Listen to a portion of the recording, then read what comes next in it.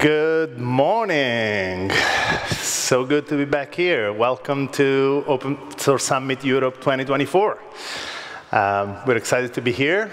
Uh, we have so many people registered for the conference, but most importantly, I want to thank you um, for making it here. The weather has been crazy. Um, so thank you so much. It's so great to see so many people here.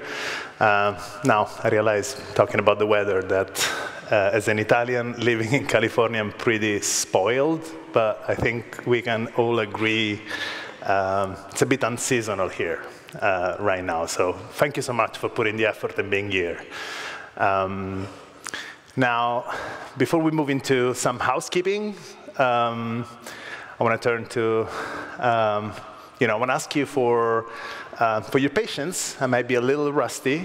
Um, some of you might know I just came back from my paternity leave, um, where we welcomed our four months old, uh, uh, our second kid, uh, Eva. So I'm, again, I'm probably going to be rusty. And as I was preparing the, the keynote, um, I really pondered, should, should I put my kid's picture? Is it a little bit too self-centered? And Turns out I became one of those dads that, you know, in the first minute of the conversation is going to show you their baby picture. Um, so uh, I certainly welcome you if you meet me uh, uh, in the hallway track. Please come and introduce yourself. Would love to hear from you. Would love to talk to you. But please be prepared to a load of baby pictures uh, because that's all I can talk about right now. So now, uh, some housekeeping items. Um, uh, First and foremost, we have a networking app. I suggest you download.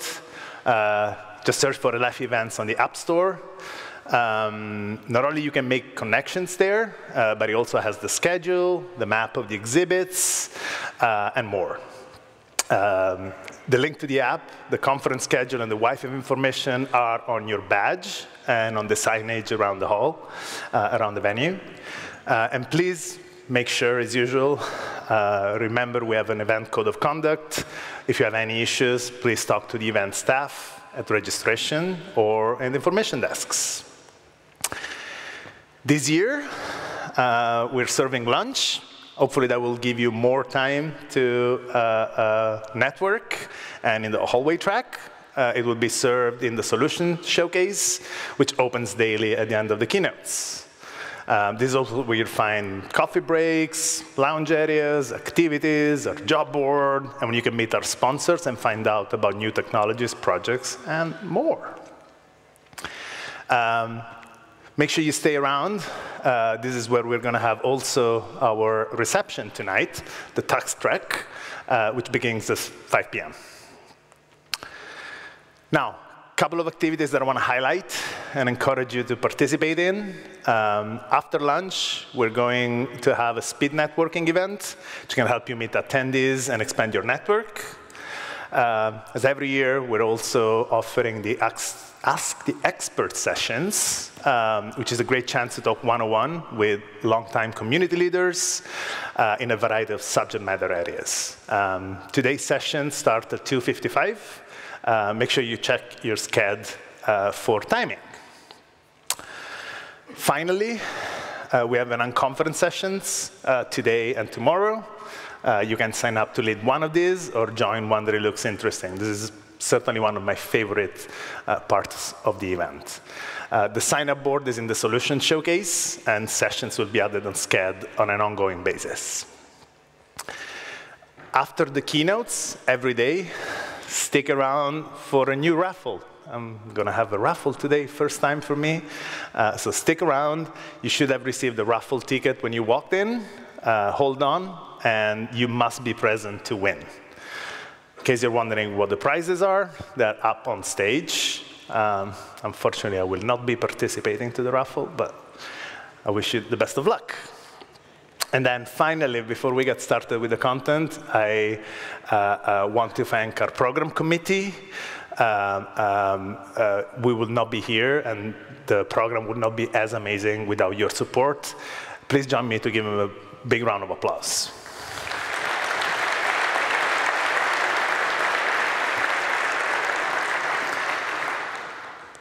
Finally, uh, a huge thank you to our diamond sponsors.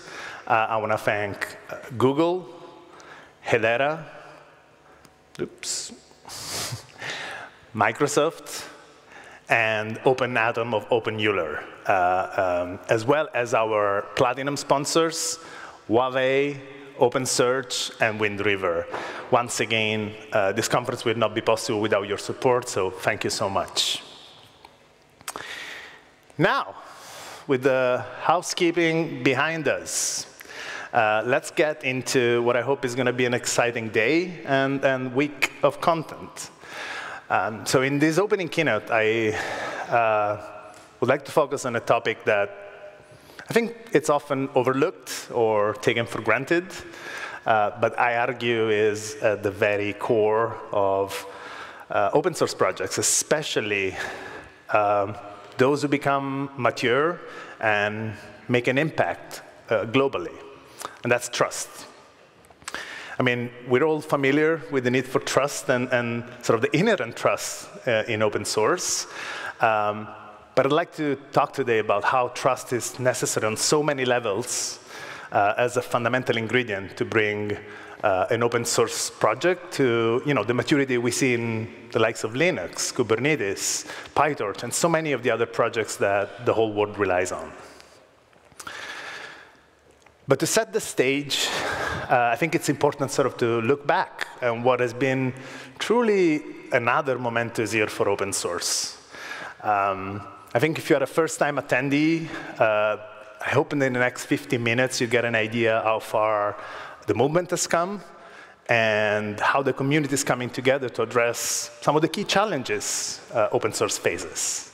Uh, but for those of you who been, who've been part of open source project, been contributing for the longest time, well, uh, you know, I'm sure you feel how every year the impact of open source uh, keeps growing. And frankly, I think you should be proud uh, what you did to help making it sort of this mature engine, not just for technology, but also for economic and social betterment uh, that has become today. So let me give you a couple of examples to put this in perspective. Um, again, I think if you're in this room, you're bought in uh, on the technical value of open source. Um, there would simply be, you know, the, the, technology stack as we know it would simply not be there without open source. Um, but over the last few years, you know, and particularly accelerated with the AI revolution in the last year, open source has been regularly talked about in terms of its impact on global economic development, market dynamics, geopolitics. I mean, it didn't used to be every day uh, that you have an article on the Wall Street Journal discussing how open source is fueling a global, but certainly very European-centric uh, ecosystem in a new area of technology like AI. And you know, it doesn't stop there. Um, open source has been recognized for, again, its social value. Um, and so you see, you know, entities like the World Economic Forum uh, publishing a, a thought piece on how open source plays a hugely critical role on responsible AI development. It's not your typical tech publication, right? And you know, I would be remiss not to mention something that happened earlier this year in New York. The United Nations hosted a conference called Open Source OSPO for Good, uh, really focusing on uh, the notion of open source as a digital public good and what it can do uh, to fighting, you know, to supporting uh, sustainable development goals. Uh, tomorrow we have Omar from the United Nations on stage. Uh, I think this is very inspiring.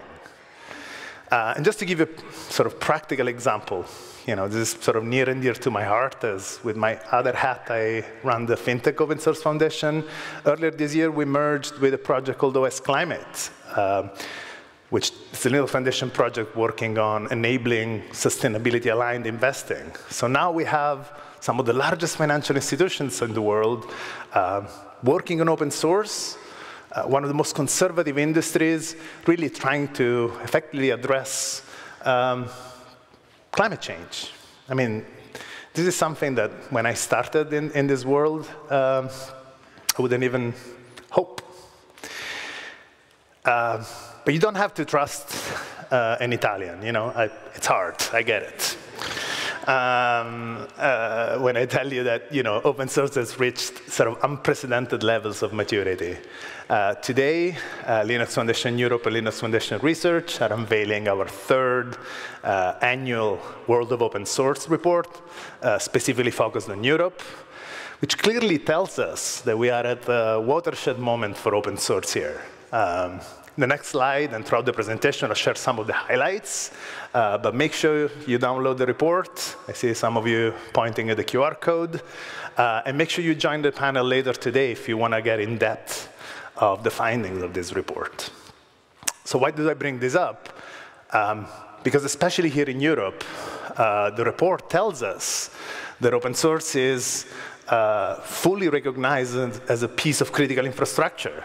Um, but also that some of these sort of old myths like security uh, continues to be dispelled. Um, so it should be no surprise open source has become such a big focus in Europe uh, of EU investments for the last several years, and we hope and are confident it will continue uh, with the new legislation. But as always, you know, with great power, um, I guess great value, uh, comes great responsibility. Um, every time, has been cycles. Uh, every time that open source grows in its maturity and its impact, it's bound to face new challenges. Um, you know, whether it be regulatory challenges, uh, especially in the EU, we are effectively entering a new era of open source regulation, of software regulation, um, with the CRA, the AI Act. Uh, we'll talk about it extensively throughout the week um, whether it be novel uh, attacks, like the XZ attack that happened earlier this year, um, which really, through new vectors, highlights, uh, you know, further the need for open source sustainability and raises very important questions around, you know, the identity of, of maintainers. Um, whether in the midst of the AI wave, and we'll talk about it later today, um, there's a growing number of companies that willingly or unwillingly um, are attaching the open source label to their open, openly available uh, large language models, um, commonly referred to as open washing. Or whether it be the growing trend uh, of vendors that we've seen over the last two years switching their license uh, on established open source projects. Um, something that the community colloquially refers as rug pull. Um, so, you know, as open source matures, new challenges arise. Um, and that's where I go back to trust. Um, of course, the technical value and sort of the project market fit are a very, you know, are the basic ingredients for an open source project to succeed. Um, but I argue that open source wouldn't be here if it was for another uh, fundamental ingredient, and that ingredient is trust. Um, as we said, trust is inherently built in open source code, but what I hope to share with you today, uh, also as we look uh, at our keynote speakers, is the so many levels that are required uh, for a project um, in terms of trust for a project to take off and become mature and have an impact on the global scale. And hopefully to understand how the Linux Foundation has helped so many of these projects get mass adoption and mass contribution. By the way, in case you're wondering, um, that article uh, from RedMonk uh, came out on Friday, very much as I was preparing this keynote on trust. And you know, what a better timing. It's a great article. I would very much recommend uh, reading it. Now, let's start with these levels of trust. Uh, I think the most basic level of trust um, that a foundation can provide uh, around projects is, is, you know, IP stewardship and compliance. Uh, making sure that a project uses and complies with open source licenses. The patent and trademarks are properly managed and neutrally owned. Now, as a developer, this you know, 10 years ago, it was very esoteric concept for me. Um, but as I joined the magic world of foundations, it became absolutely clear how it creates the necessary trust for not just individuals, but especially large enterprises to confidently adopt open source. Um, you know, I, with my other hat, I run uh, FINOS, uh, the, the, you know, bringing some of the most conservative regulated industries to work in open source. Uh, it would simply not be possible without that level of assurance. Uh, let me give you a couple of examples here. Um, I'm assuming you're familiar with patent trolls, uh, uh, more uh, properly known as non-practicing entities. Uh, the attacks on both open source software and proprietary software built on open source are on the rise. So the Linux Foundation, five years ago, together with Microsoft, the Open Invention Network, co-founded the Unified Patents Open Source Zone. Uh, our goal was really to hinder NPE's patent attacks on open source software. And so today, as we continue to proactively support our projects in stewardship and compliance of their IP, uh, I'm really excited to share the Unified Patents is announcing uh, that it will extend several benefits to the Linux Foundation and CNCF members. Um, take a look at the announcement, the QR code is there, and if you're a member, make sure that you take advantage of these benefits. Uh, patent trolls are a reality uh, to, to, be dealt with, and this is one of the ways uh, we're trying to help your project and your organizations uh, hinder that. Now, another example you know, I would be remiss not to mention the Cyber Resilience Act. Um, can I get a show of hands? How many of you are familiar with the CRA? Hmm, quite a good number. Um, just quickly, if you're not familiar with it, it's a new regulation, got passed this year. It's going to be adopted over time over the next few years. And the goal is to bolster cybersecurity, uh, but it does impose new compliance requirements on software shipped in the EU. Uh, and while open source has been not only prominently mentioned in the regulation, it's one of the first times, uh, and enjoys certain exception, um, also thanks to your advocacy and the advocacy of many foundations out there, um, this is something all open source developers and companies building on open source need to be familiar with. So unsurprisingly, while the law has not come into force yet, um, you know, our reports shows uh, the folks are confused, are uncertain, it's creating headaches. And so the Linux Foundation and the Linux Foundation Europe are actively engaging, uh, first and foremost, with lawmakers um, to influence the standardization process. Um, we're working with our projects, like the Open Source Security Foundation, SPDX, and OpenChain, to provide tools for our projects to seamlessly comply with the regulation. Uh, and of course, we're working on research and education to make sure that you are uh, well informed, not only as a maintainers, but also as a business building on open source. Um, We'd love to hear your feedback this week, as this is going to be a multi-year process. Uh, so please come by to our booth and understand, you know, help us understand how we can help you, whether you're a maintainer in one of projects or whether you're a company building on open source. Now, let's switch gears. I'm going to go to the sort of next two levels of trust, which I think they go really hand in hand. Um, having an open source project stewarded by a foundation means uh, that there's very little chance that the project will change its license over time. And if that happens, um, it will be because of consensus decisions of the governing bodies of the project, certainly not the decision of a single vendor. So effectively, this allows open source to stay open forever. Which brings me to my next point, which again goes very much hand in hand, uh, and it's what most people refer to as open governance. Um, effectively, open governance is a transparent layer on top of open source um, that allows, on the basis of meritocracy and, and, sort of transparent governing process, to make decisions. Um, not only we provide uh, uh, you know, templates for open governance for projects, but we enforce it, meaning we make sure that both small, large corporations, individuals have a level playing field when it comes to making decisions on a project.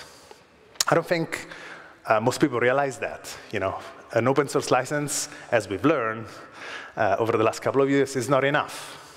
Uh, but let me give you a couple of examples. Um, so earlier this year, the Linux Foundation launched a project called Valkey. Uh, you probably are familiar with it. Uh, it started as a fork of Redis, uh, the popular in-memory data store, uh, once the company behind it decided to change the license to a non-open source license. That obviously created a major havoc on consumers. Uh, they had to scramble with a project that was no longer open source. Uh, took a week after the fork to launch the project. And the project received immediate support from some large organizations like AWS, Google Cloud, Oracle, Ericsson, and Snap, amongst others.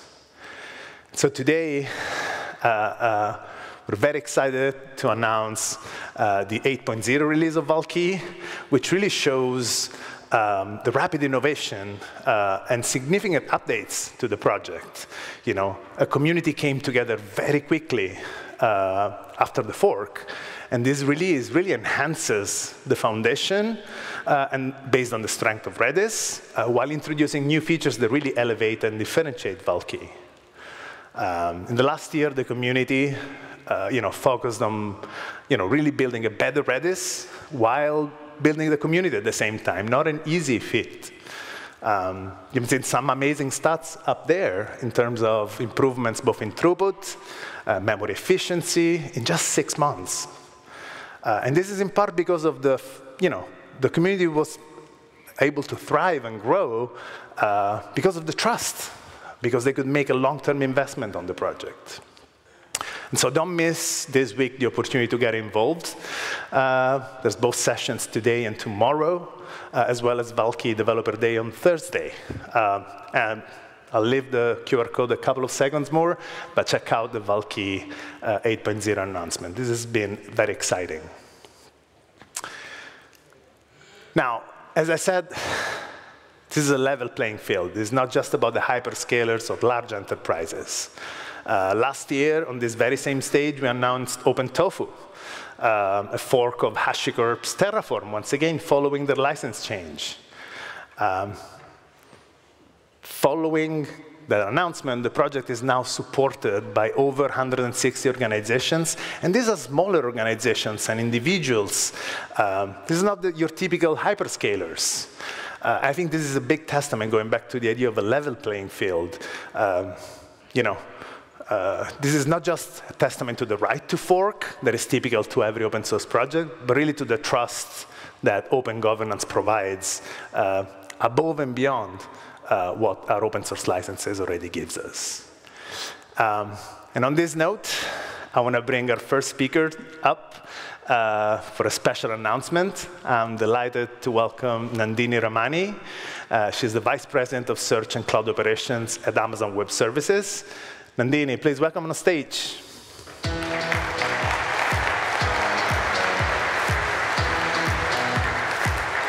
Thank welcome. you, Gabriele.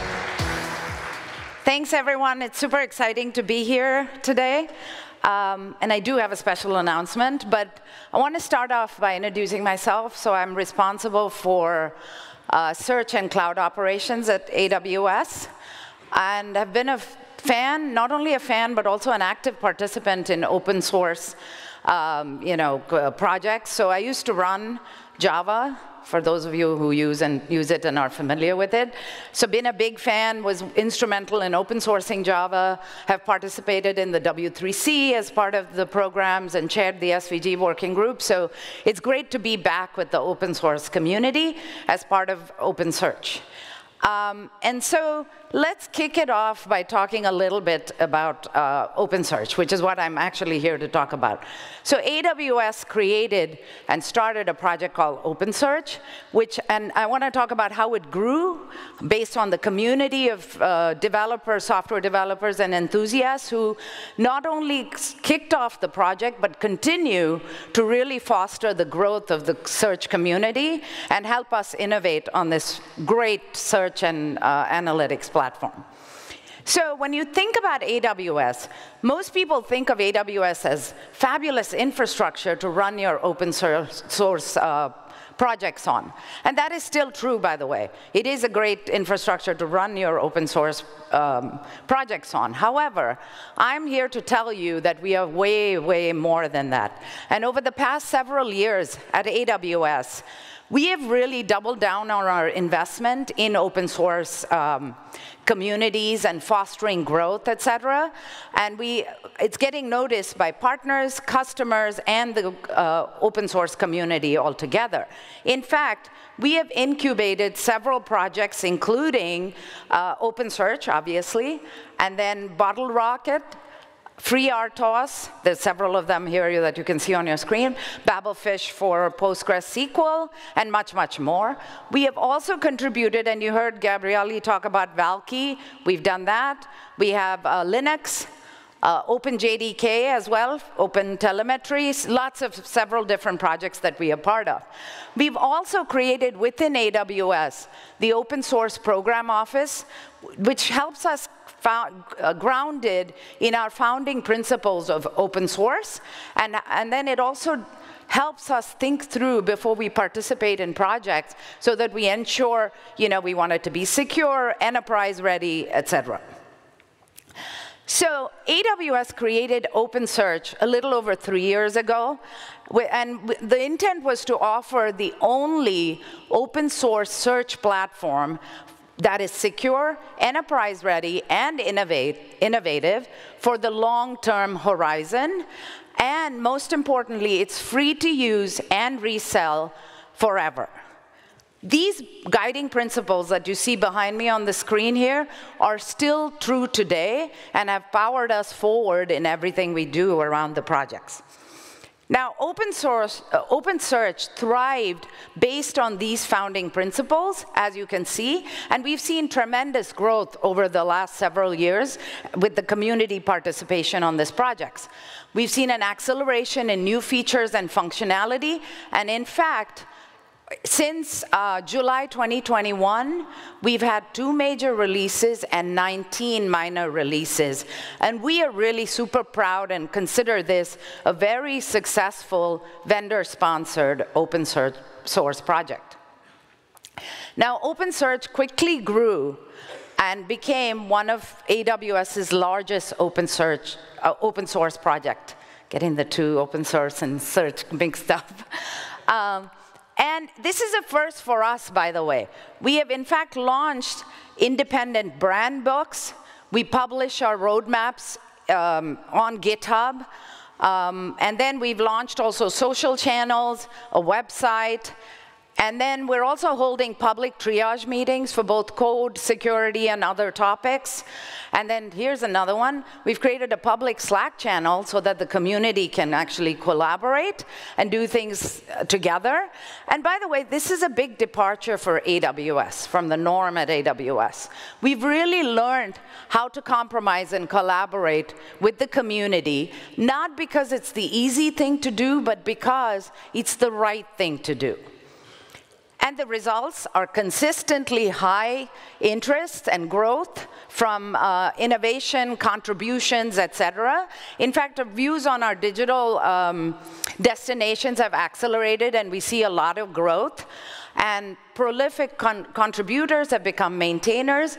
And in fact, today, double-digit percentage of uh, maintainers on OpenSearch are not working at AWS. I know it's a little bit of a vanity metric, but I think it really tells you how invested we are in OpenSearch. And uh, the project downloads have never stopped. In fact, they've continued month over month.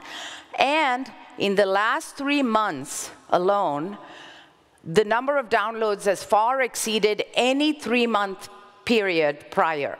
Also, as of today, we've had 700 million downloads of OpenSearch. And this is the outcome when the community gets together, stays anchored on the founding principles, which I heard Gabriele and others talk about, and really fostered innovation within this project. So as you can tell, we at AWS are super proud of OpenSearch and everything that we have done for the community.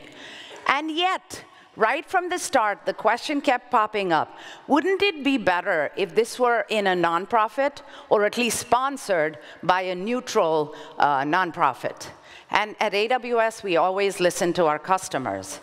So, in fact, at OpenSearchCon in 2023, September of last year, we spent about half of our annual partner roundtable discussing this very topic. Two things came about. One, OpenSearch is a very successful open source project. And two, it would benefit from moving to a more vendor neutral um, nonprofit. So we listened, and soon we assembled a group of multi different companies coming together, a combination of contributors, maintainers, partners, and customers, all came together, formed a re referendum and a steering co leadership committee to discuss what the charter of this new vendor neutral project could look like. The first meeting was a referendum where we discussed whether it should be transitioned, and then subsequent meetings spun off uh, topics like operations, technical um, topics, etc. So the result of which, this continued all the way through to this year, by the way. We're still continuing to spin up um, conversations, and we're still living up to the commitment that you saw previously on the slide behind me on the founding principles of everything we believe in uh, to create a secure, enterprise-ready, innovative search and analytics platform that can be run, owned by the community. So with this commitment to the open source community, I am delighted to announce today the Open OpenSearch Software Foundation, which is the newest project of the Linux Foundation.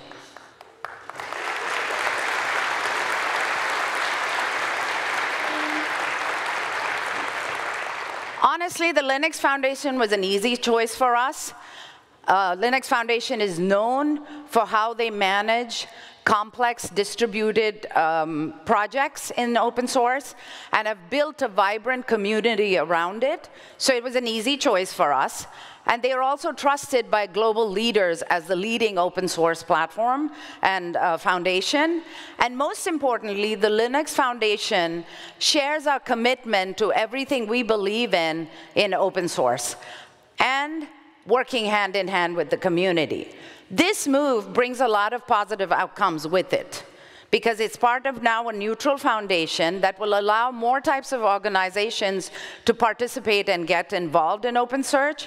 We have created a new governing body, uh, a board, uh, and a technical steering committee as well. In fact, I think Slack, uh, Uber, and um, ByteDance and others are part of it, so we're super excited for this.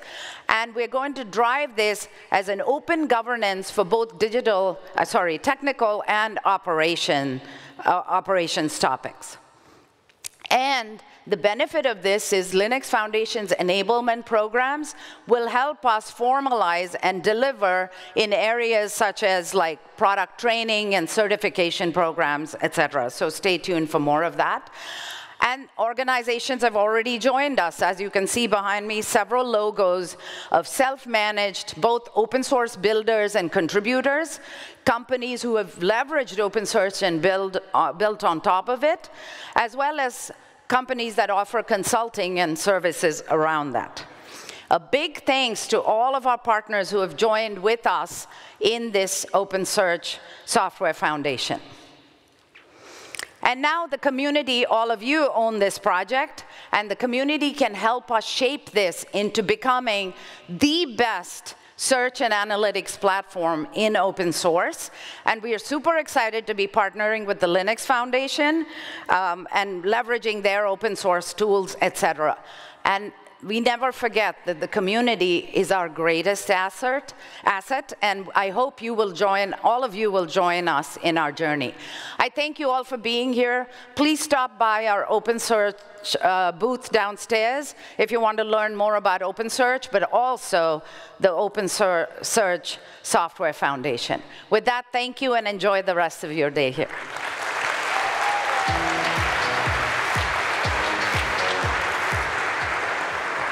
Thank you, Nandini. It is amazing What exciting news.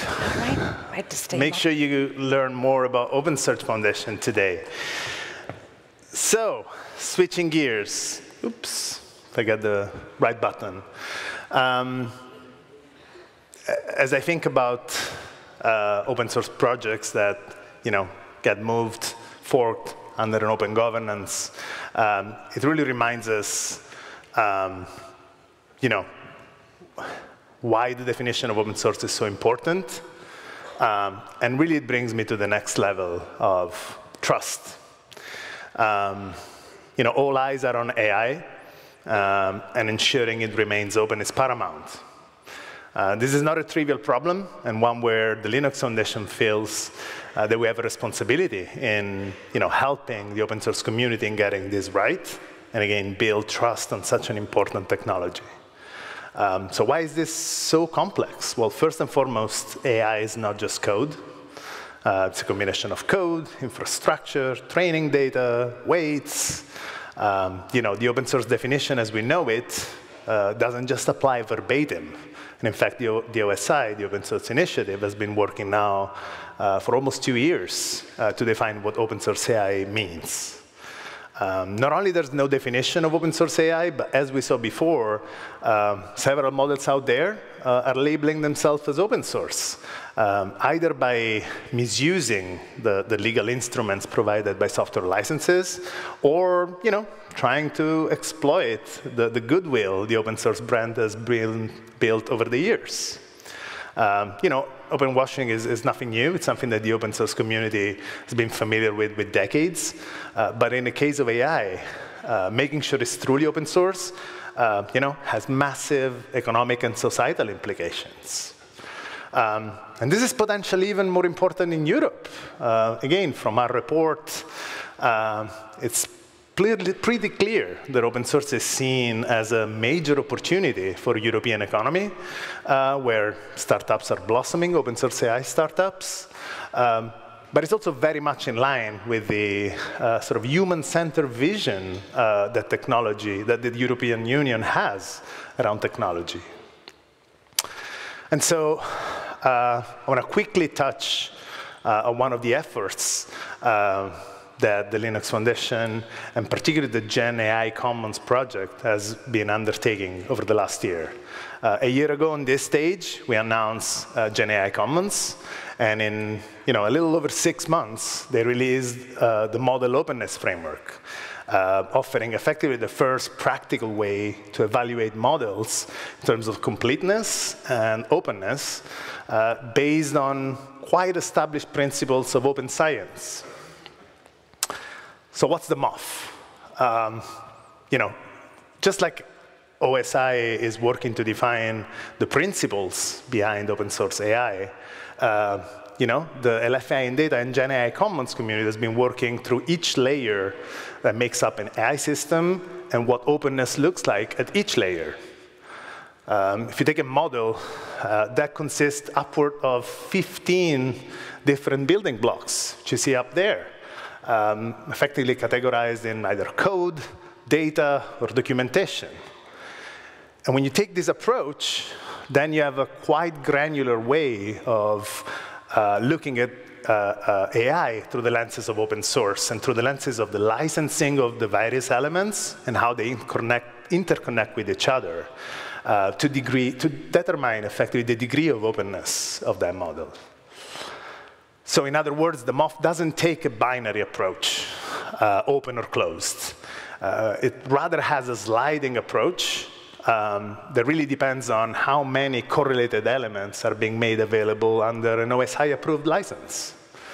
Um, the community has already implemented the MOF uh, through what we call the model openness tool, um, if you didn't know, there's already 250 models that have been submitted and are at different stages of evaluation. So if you go to isitopen.ai, uh, you can see the MOF in action. Um, the community is accepting feedback. Uh, Gen AI Commons is open to everyone. We very much encourage uh, you to participate and join uh, the working group calls to help improving the MOF.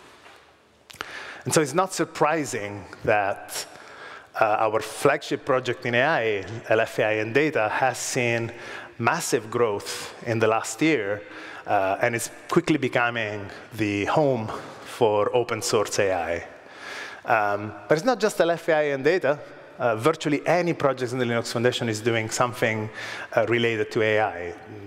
The FINOS project that I happen to lead uh, has seen a lot of uptake uh, from financial institutions trying to really embrace uh, Gen AI and build uh, open source Gen AI.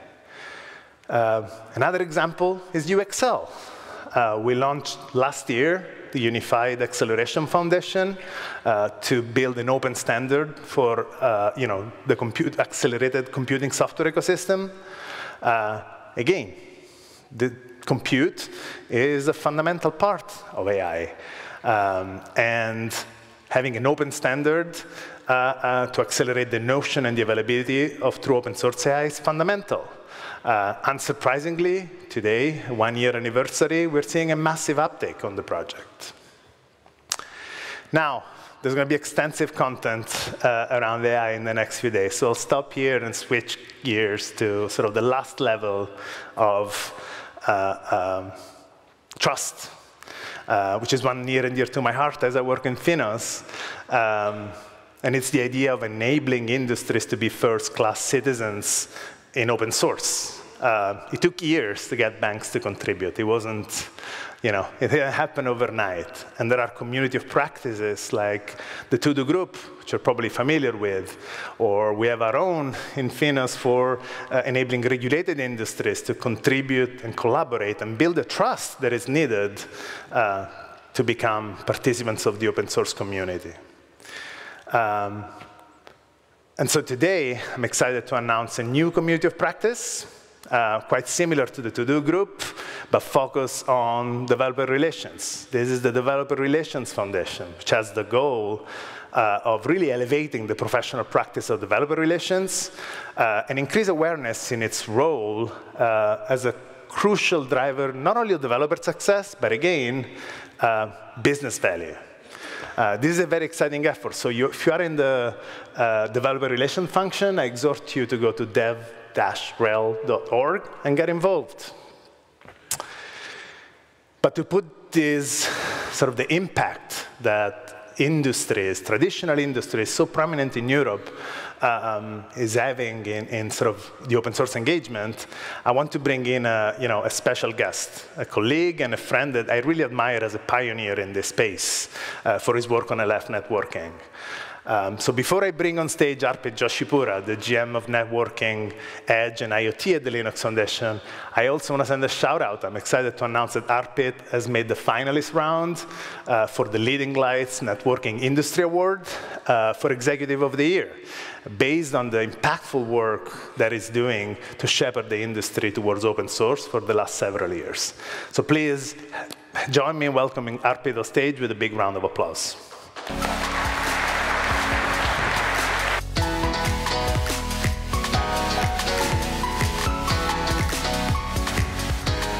All right.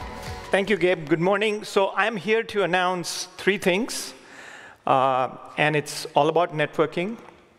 And I want to make sure that you know you understand the background of what networking is. It's very complex, but let me set the stage up. And I'm expecting everybody to know all these projects, right? But give me, give me one minute and I'll explain and you'll be the experts. The way you connect is all in this slide. Okay, from the left, you start off with access, the various types of access, mobile, 3G, 4G, 5G, 6G, GPON, fiber, you name it, right? You come in, you come to an edge compute area uh, where we have a foundation called LF Edge that unifies frameworks for the different markets of edge, cloud edge, enterprise edge, IoT edge, telecom edge, right? And, and it gives you two implementations of that. So a very exciting project. Then you come on to the main stack, the cloud and the core stack, going all the way from network operating systems like SONiC, like DENT, up to the data plane, control plane, automation, and applications. And you, you got to realize that this is a very large uh, ecosystem. So we're going to only announce three things today, but it's important to note that uh, this is the background. So the first piece of news is on CAMARA. CAMARA is an extremely important project where finally we have figured out how to monetize the richness of a network. The announcement is releasing the first set of APIs that uh, come from the network, globally available, and things like SIM swap, quality of uh, data, quality of uh, connection, right, latency, etc. Uh, in fact, to a point where some of these APIs have been de deployed in companies like Verizon, Deutsche Telekom, for fraud detection, etc. So that's being worked and announced. Along with that, you must have seen a huge announcement on a joint venture that's formed by the top telcos, 12 of them with Ericsson, that basically are solving one simple problem, get the apps to work anywhere. Wouldn't it be nice? Like we can have a phone call and a text anywhere in the world, but the apps don't work. That's what it's doing. Okay, so that's the first announcement. The second announcement is on Packet Core. So remember that diagram on the, on the right-hand side up top? That's core. Core as in the brains behind making calls, mobile or fixed. So we're pleased to announce that free5GC, uh, one of the world's leading Open Packet Core is now moving to the Linux Foundation under the neutral governance and under you know, uh, the, the organization to provide uh, alternatives to open source deployment. It joins the rest of the systems. Um, you know, we have Magma, we have SD Core, a lot of other uh, open source systems, uh, Packet Core specifically, that allows us to do end-to-end -end solutions through Packet Core. So very excited about that. Um, and then the final announcement, you know, linking back to what Gabe said about AI, right? So the purple stuff is what he talked about. You don't need to read it all, but it's the generic AI, right? Um, the LLMs and all the hype that has just gone on in the last one year, right? It's the generic models, the generic data, and the generic infrastructure. Okay, purple. LFDI AI and data solves that. For us, what's happening is the next phase of AI is domain specific. Okay? So that's whether you call it a hype or call it reality. Domain specific AI is extremely important to all the domains. Now, one of them is telecommunications. And all the light blue stuff on the top and bottom you see, on the right hand side is domain specific. So that's infrastructure, all the rich data that comes from it, all the domain-specific data sets that you train on. And on top, you have any specific models that you want to fine-tune, whether through you know, uh, fine-tuning or RAG or whatever, and all the applications and the use cases. So that forms what is the next wave of AI, and that's domain-specific telecommunications. We can do the same in energy, we can do the same in edge, et cetera. And so what we have, and you can read the announcement on lfnetworking.org, is really the uh, projects, the opportunities, and challenges in this. Because you're going to use AI for networking, networking for AI, both use cases, and we have a rich set of intent in the network that needs to move into AI and learning. And then we have projects like Thoth, which anonymizes the data for learning. So that's kind of how we see the whole architecture. And we're really excited with these three announcements. Uh, for those of you who are here through Thursday, there are three mini summits, one on SONiC, one on LF Edge, and another one on Sylva that you can join. Uh, and with that, I'm going to bring back Gabe. Thank you.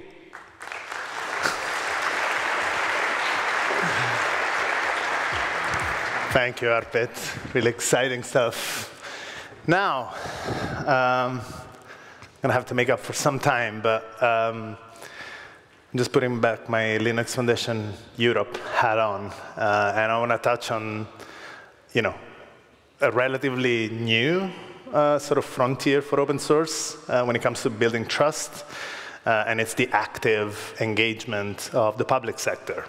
Not just in terms of consuming open source. I mean, across the world, uh, under the you know public money, public code uh, uh idea, consumption has been there.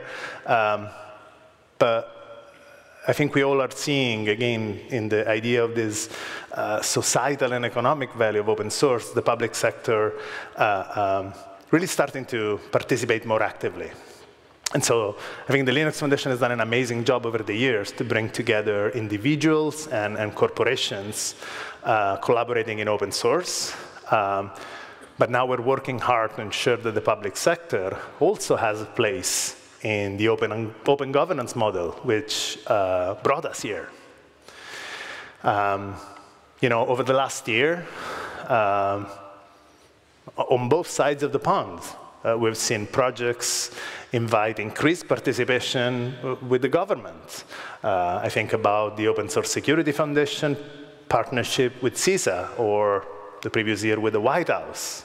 Uh, I think about LF networking, uh, uh, partnering with US government on Open RAN, uh, Open Radio Access Network, effectively digital infrastructure. Um, but in Europe, um, we're both, you know, in a way, both at EU level and nation state level, uh, the government and the public sector is possibly even more involved uh, in open source. Uh, we took a very active approach through Linux Foundation Europe. Um, not only we're participating to the NGI Commons project uh, to really advise the EU on uh, their next generation internet funding programs.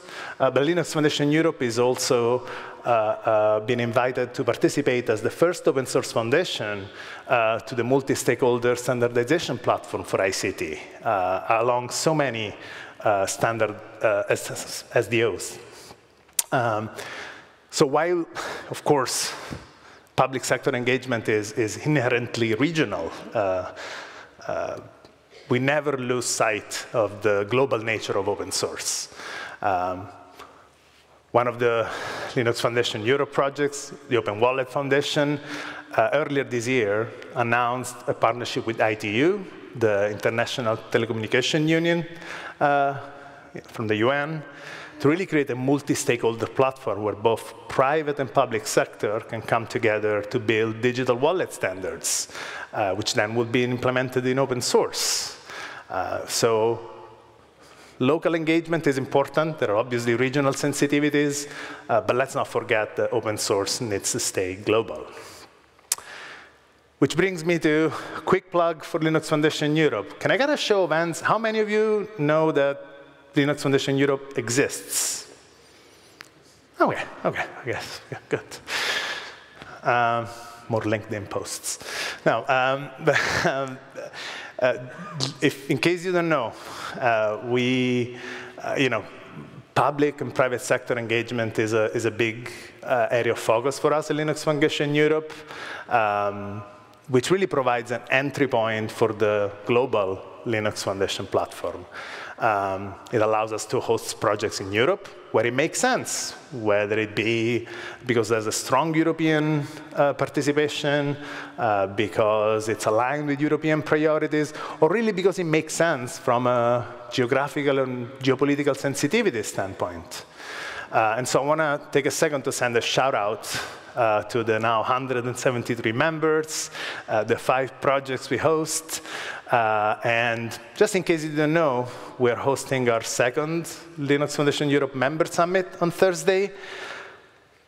We're almost out of seats, but if you're interested to participate, just come to our booth and, and we'll see what we can do. Um, and with that, uh, I want to bring uh, in our last walk on. You know, we talked about the critical role uh, of open source in uh, driving economic and societal change. We talked about the need of, of sort of multi-stakeholder collaborations. We talked about trust. Um, well, I cannot think a better way to top this off uh, than our next announcement. Today, uh, we are announcing the Linux Foundation Decentralized Trust, uh, which is the definitive community for uh, uh, blockchain, DLT, identity, and other cryptographic technologies. It will be the new home for Hyperledger Foundation, Trust over IP Foundation projects. So here to tell us more, uh, my good friend and, and, fellow Bay Area local, Daniela Barbosa, uh, General Manager of Decentralized Technologies at the Linux Foundation. Please join me in welcoming her on stage.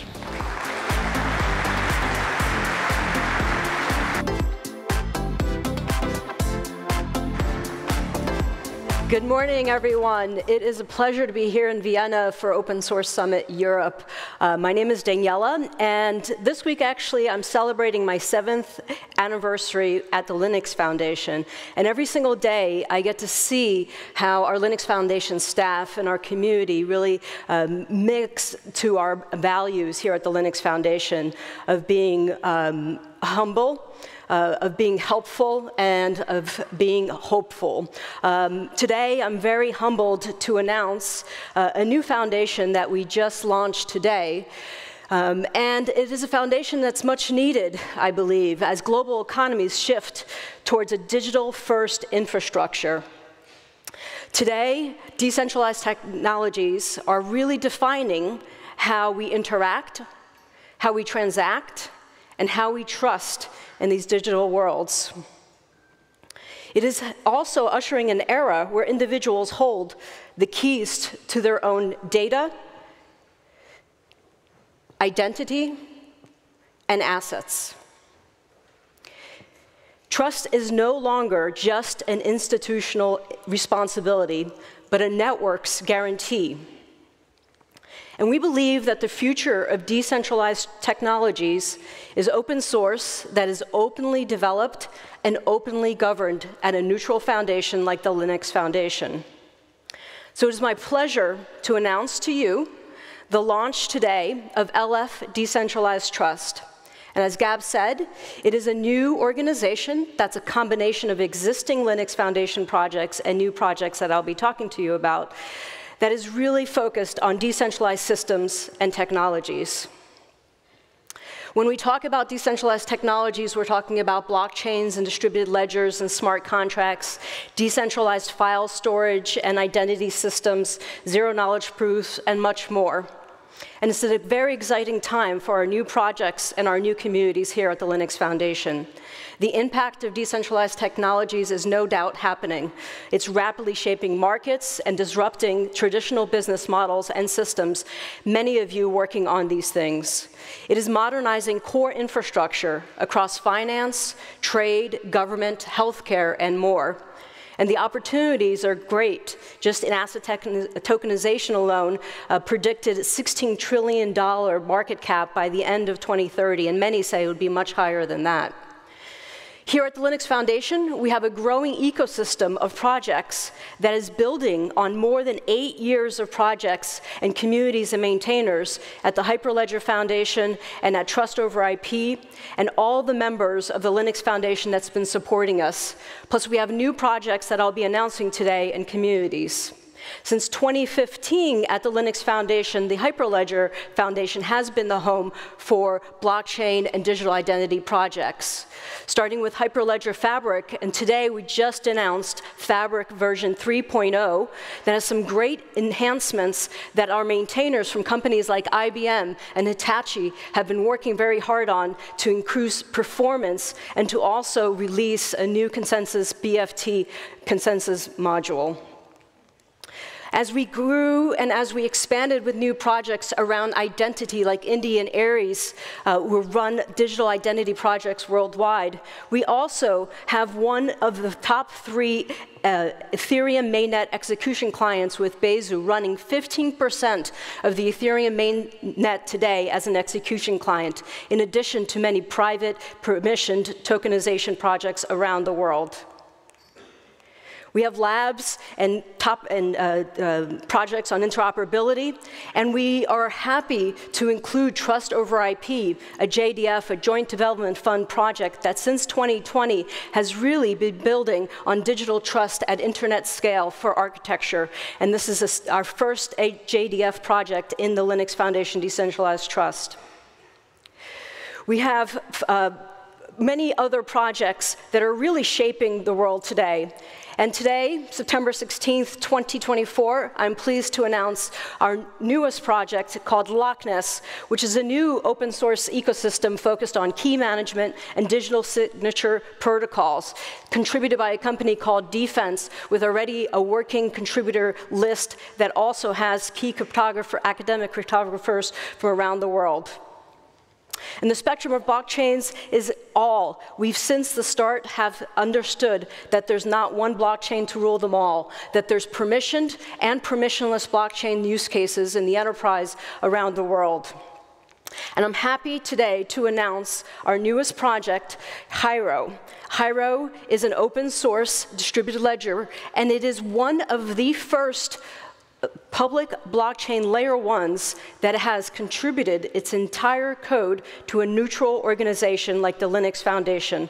So we're very excited about Hiero, which is coming to us from the Hedera ecosystem, and the co-founder of Hedera will be coming on to give you an overview of Hiero and the community that we're building here at LF Decentralized Trust around Hiero.